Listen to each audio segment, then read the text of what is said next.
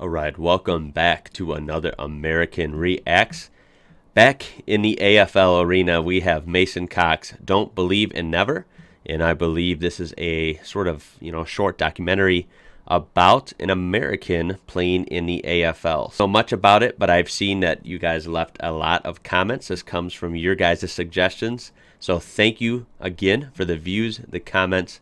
Great community so far. Loving the AFL learning about it day by day, and uh, trying to cover a lot of different topics and videos. And I'll say it again this sport is awesome.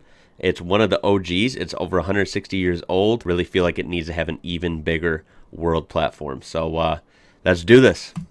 When Mason came to us, no American player had ever played a senior game of AFL footy.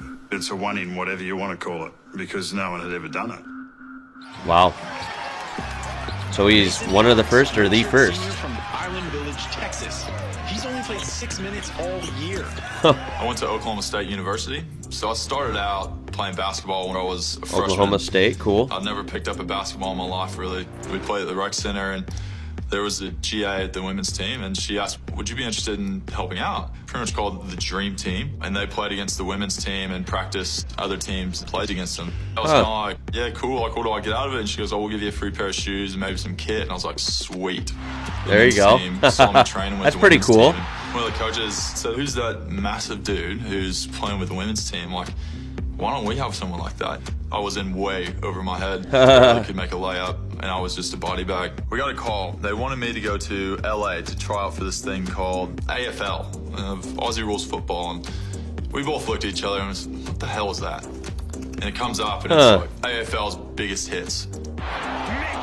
By the way, that's on my list. Biggest hits are something exciting in a lot of sports and definitely a big part of the sport. So that will be coming. But uh, a quick pause here.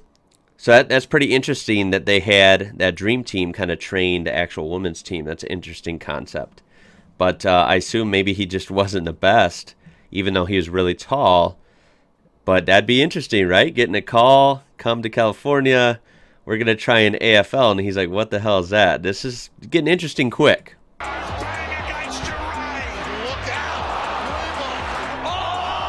Oh man, those hits, brutal, brutality, man. Laughing and going, is this really a sport?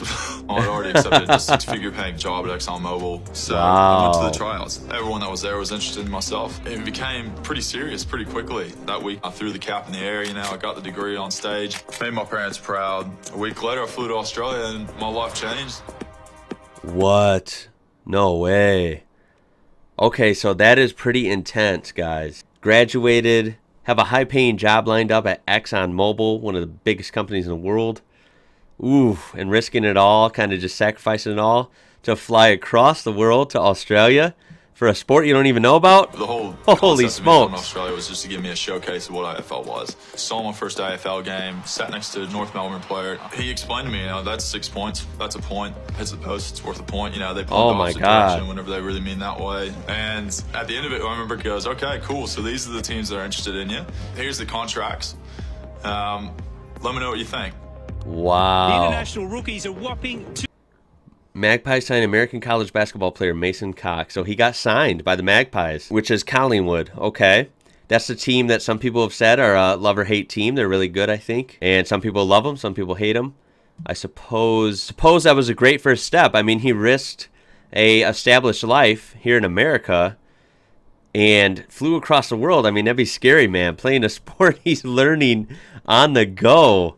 Whereas most of these guys are so passionate about AFL, the locals, and they've been playing since they were kids. That's what I've learned in you know talking to you guys. What a what a crazy story so far. 211 centimetres. The same Very tall. as Aaron Sandilands. Looks quite exciting.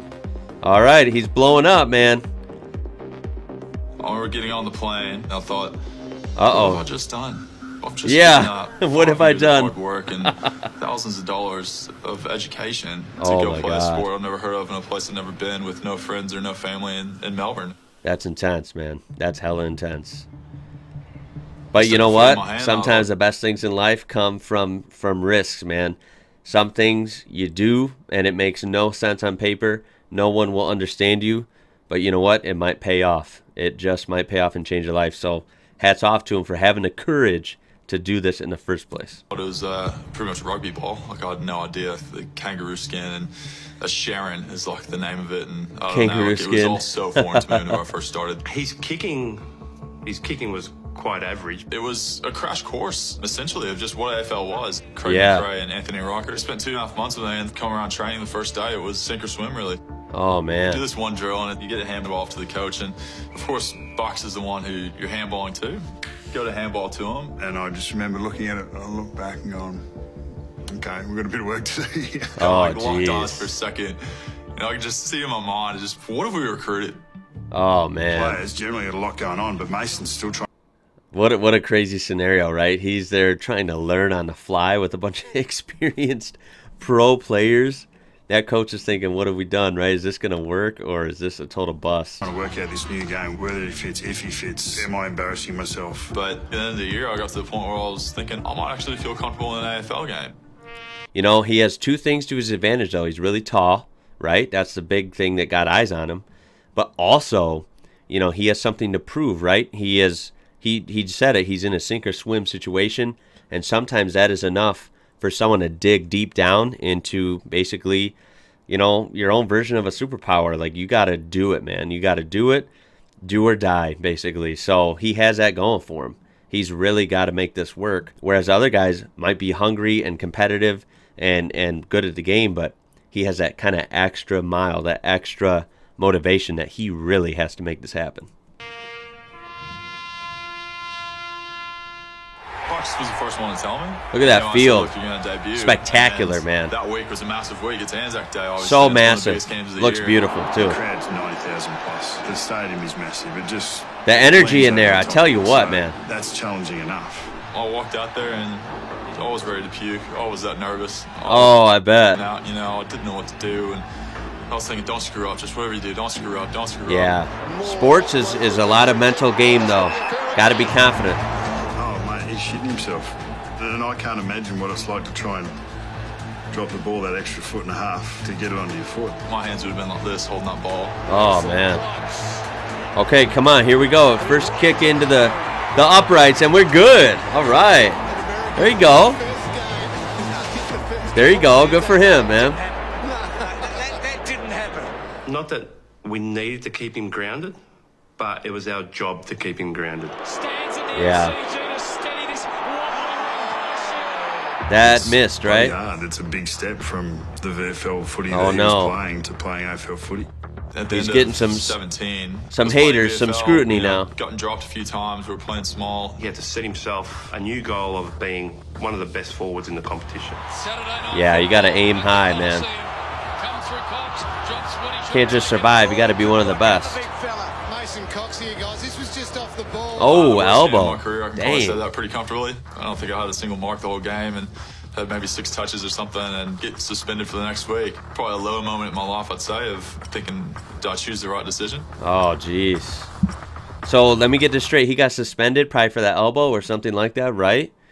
So that's already a tough blow. And then having a bad game or two, can't catch the ball. I mean, think I think we've all been there in any sport where no matter how good you are, sometimes you just you just got nothing. Like nothing works. Your hands don't work. You know, you're tripping on yourself. You can't catch the ball. Got to maintain confidence. Sports are so mentally tough. Like you got to be tough and rise above because it's easy to just give in to, oh my God, I'm going to panic. I, I can't do anything right. Jeez. Getting a lot of uh, scrutiny, man. Mason Cox can do as a permanent forward. I. Oh, man. can do better. I said, you know what? Yikes. This is a last ditch effort to show them what you're worth. To Gotta show 'em ignore the can do this haters, man. Gotta rise above. career that You're in do for the control. your. You're in control. Don't listen to the haters. What a beast It's white noise. this Tiger has become on and off the field. 22 consecutive wins at the MCG. It's hard to get your head around it, to be honest. We'd played Richmond twice and been overrun twice through the year. Imagine this is a high-stakes game here. Can't believe that field. I say it every time. I can't believe it. So cool. Look at how massive that is. All right. It was in. It was clunk, clunk, clunk.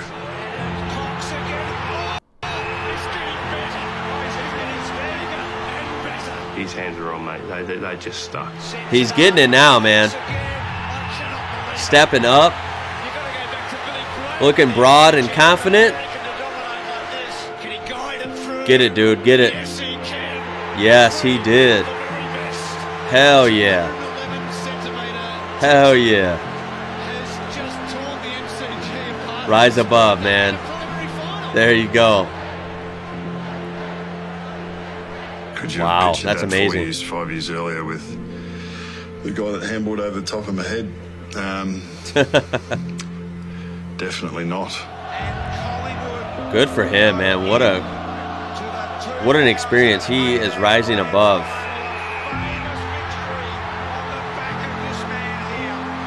I don't believe in ceilings. I don't believe in people setting limitations on others. I think if you're motivated enough and you care enough, or that determined to get to wherever you want to go, it's it's possible. Good for you, man. Hell yeah. He's got the right mindset now. That You quote can't write the script any better. Well, you could have. We could have won the grand final. Imagine that story. That was awesome, man. Wow. That was powerful at the end. It, it got really deep, right? I, I'm proud of him, dude. He he rose above. He faced a lot of hate, a lot of scrutiny, a lot of doubt, and he's in a foreign country. Everything's foreign about it. He's in a sport he's never even heard of, like prior to this, right? Dang, what a what a story, dude. You guys weren't wrong when you said react to this. You know, something you can learn from that is exactly what he said. No matter what you think the odds are, or if people are doubting you or looking down upon you, dude, you can do it. You can rise above. You got to be mentally tough. You got to have confidence and you got to work your ass off. And you can do anything. You really can. And uh, good for him, man. I'm glad to see someone from America in the game. Uh, and that goes for any country. That is an awesome sport. Obviously, Australia is an awesome country, but uh, it's cool to see some other people mixed in there as well because that sport is cool and it, and it needs some some global recognition, in my opinion. Uh, so the more Americans that can see this and see also that uh, an American young man like this got to rise above some crazy odds and get out there on that field and make stuff happen, uh, that's awesome. You know, that's a great lesson for anyone, regardless of sport or country. We'll go ahead and throw a thumbs up on that one. And uh, let me know down below, of course, what you thought of this, what you know about Mason Cox. Trust me, there is a lot more to come with AFL. I'm I'm super intrigued, and I still have a lot to learn. I've already soaked up so much in a few days, but I still I think I've only scratched the surface. I don't know a lot of things yet. So so definitely comment down below what you thought, some more ideas and requests. I appreciate it. I appreciate big time if you give me a thumbs up. Of course, subscribe if you enjoy reactions like this. Much, much more to come multiple times per day. That's about it for this one, guys. My name is Ian. You are watching IWrocker. And uh, we'll see you next time. Catch you later.